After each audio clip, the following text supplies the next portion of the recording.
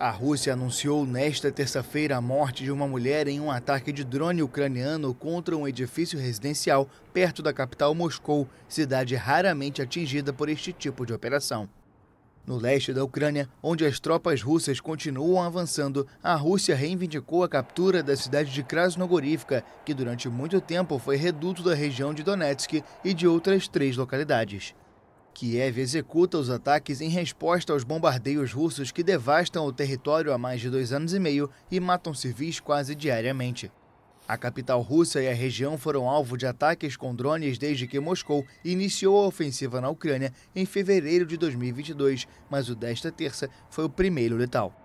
O impacto do ataque provocou um incêndio no décimo andar do prédio, que foi rapidamente controlado, mas deixou um grande buraco. O Ministério da Defesa russo informou que a defesa antiaérea interceptou 144 drones ucranianos durante a noite, 20 deles na região de Moscou.